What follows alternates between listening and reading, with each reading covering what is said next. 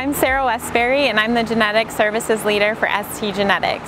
Today we'll be going over an in-depth look of chromosomal mating and see how you can use it to make your herd more profitable. The goal of any breeding program is to increase profitability. There are several ways that we can do that. We can increase production, improve health traits, have a longer productive life, or improve fertility. The most important part of any breeding program is to select the correct bull team to help you in each of these areas.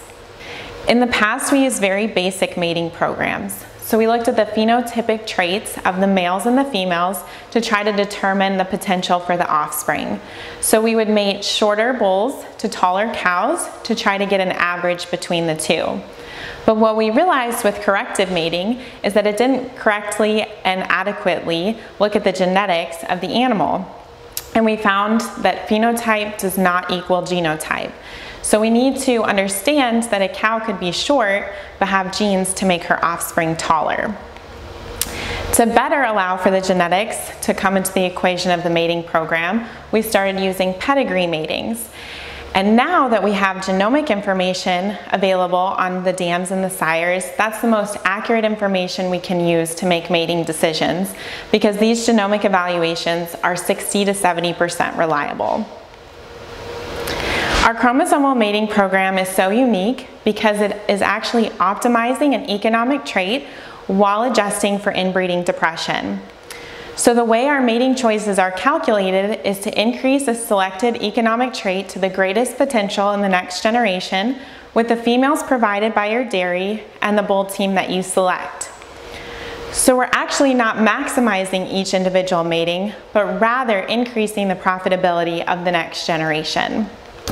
The ST mating program consists of three types of matings, corrective linear, pedigree, and genomic. So corrective linear mating uses an Android mobile application uh, for us to score your animals and each of their phenotypic traits on a scale of 1 to 9. Our program then corrects the four least ideal traits for each female. If you have pedigree information available, we can upload that information to stgen.com and then our mating program utilizes a database that contains over 5 million pedigree records for males and females, and we can trace back the lineage as many generations as possible to find that actual relationship between the mating pairs. In a genomic mating, we use the most up-to-date genomic information available based on that 17-digit unique ID for each female. We also use the genomic relationship file produced by CDCB to determine the actual inbreeding relationship between the males and the females. And this genomic relationship file contains over 5,000 bulls and 1.3 million females. Genomic matings are so valuable because they actually increase heifer value. So when compared with pedigree matings, genomic matings increase the heifer value by $84 and actually decrease inbreeding by 1.3%. If you compare genomic mating with random mating, it increases the heifer value $214 and decreases inbreeding by 2.9%. You'll also see improvements in conception rates by avoiding mating recessive carriers.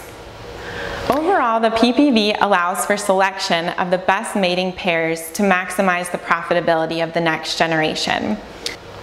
Within our chromosomal mating program, you have the flexibility to incorporate corrective linear, pedigree, or genomic information to produce the best mating solutions. For more information about the chromosomal mating program, please visit stgen.com or talk to your local representative.